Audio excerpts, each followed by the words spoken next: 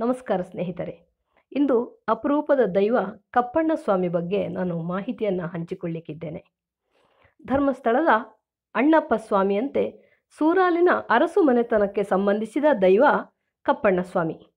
ಉಡುಪಿಯ ಸೂರಾಲು ಮಾಗಣೆ ಕೊಕ್ಕರ್ಣೆಯ ಮೊಗವೇರಪೇಟೆಯಲ್ಲಿ ಈತನಿಗೆ ಆರಾಧನೆ ಇದೆ. ಭೂತಾರಾಧನೆ ಎಂದರೆ ಕೇವಲ ಆರಾಧನಾ ಸಂಪ್ರದಾಯ ಮಾತ್ರವಲ್ಲ, ಇದು ತುಳುವ ಬದುಕಿಗೆ ತುಳುವ ಬದುಕಿಗೆ ಕೈ ಹಿ ತುಳುವ ಬದುಕಿನ, ಕ್ಷಮಿಸಿ, ತುಳುವ ಬದುಕಿಗೆ ಹಿಡಿಯುವ ಕೈಗನ್ನಡಿ ಕೂಡ. ತುಳುವರ ಭೂತಾರಾಧನೆಯಲ್ಲಿ ರಾಜಕೀಯ, ಇತಿಹಾಸ, ಸಂಸ್ಕೃತಿಗಳು ಸೇರಿಕೊಂಡಿವೆ. ಅಂತೆಯೇ ಕಪ್ಪಣ್ಣ ಸ್ವಾಮಿ ದೈವದ ವೃತ್ತಾಂತವು ಸೂರಾಲು ಅರಸು ಮನೆತನಕ್ಕೆ ಸಂಬಂಧಿಸಿದೆ. ಸೂರಾಲು ಮಾಗಣೆ ಜೈನ ಅರಸರು ಅರಸರ ಆರೋಗ್ಯ ಹದಗೆಟ್ಟಿರುತ್ತದೆ. ಆಗ ರಾಣಿಯೇ ಎಲ್ಲ ಕಾರ್ಯಗಳನ್ನು ನಿರ್ವಹಿಸುತ್ತಾ ಇರುತ್ತಾಳೆ.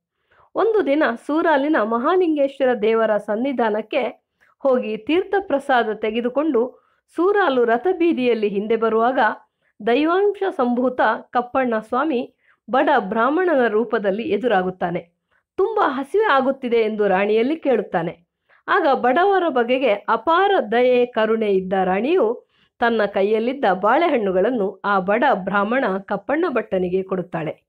ಹಸಿವು ಅಡಗಿದ ನಂತರ ತನಗೆ ಬಂಧು ಬಳಗ ಯಾರೂ ಇಲ್ಲ. ನಿಮ್ಮ ಅರಮನೆಗೆ ಬರುತ್ತೇನೆ ಎಂದು ಕಪ್ಪಣ್ಣ ಭಟ್ಟ ಹೇಳುತ್ತಾನೆ. ಆಗ ರಾಣಿ ಅವನನ್ನು ತನ್ನ ಅರಮನೆಗೆ ಕರೆದೊಯ್ಯುತ್ತಾಳೆ. ಅವನು ಅಲ್ಲಿ ಸೇವಕನಾಗಿ ಇರುತ್ತಾನೆ. ಸ್ವಂತ ಮಗನಂತೆ ರಾಣಿ ಅವನನ್ನು ಪರೆಯುತ್ತಾಳೆ. ಅವನು ಬಂದ ಮೇಲೆ ಅರಸನ ಆರೋಗ್ಯ ಕ್ರಮೇಣ ಸುಧಾರಿಸುತ್ತದೆ. ಅರಮನೆಯ ಸಂಪತ್ತು ವೈಭವ ಹೆಚ್ಚಾಗುತ್ತದೆ. ಹೀಗಿರುವಾಗ ಒಂದು ದಿನ ಅಲ್ಲಿನ ಮಹಾಲಿಂಗೇಶ್ವರ ದೇವರ ಮೇಲೆ ಹಿರಿಯಡ್ಕ ಮೆಕ್ಕಿಕಟ್ಟೆಯ ದೇವರುಗಳು, ಭೂತಗಳು ಯುದ್ಧಕ್ಕೆ ಬರುತ್ತವೆ.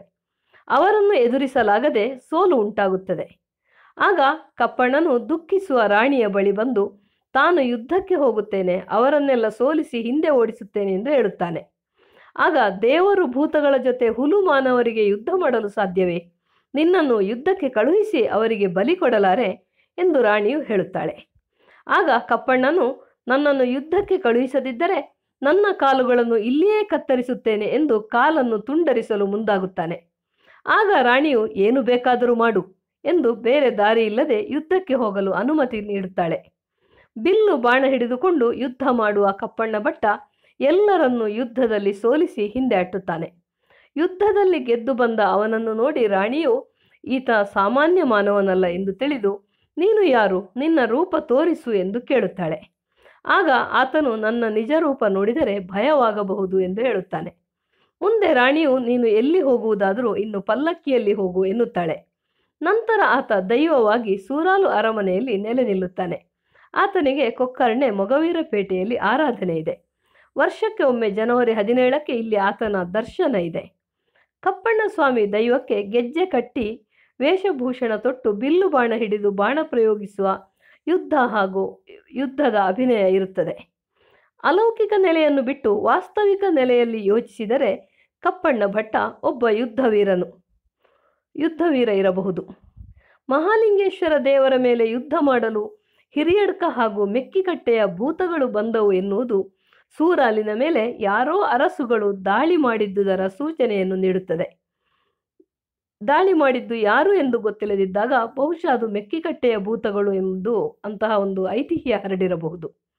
ದಾಳಿಯ ಸಂದರ್ಭದಲ್ಲಿ ಸೋಲು ಎದುರಾದಾಗ ಅರಮನೆಯ ಊಳಿಗದವನಾಗಿದ್ದ ಕಪ್ಪಣ್ಣ ಎಂಬ ಬ್ರಾಹ್ಮಣ ಹೋರಾಡಿ ಯುದ್ಧದಲ್ಲಿ ಗೆಲುವನ್ನು ತಂದುಕೊಟ್ಟಿರಬಹುದು.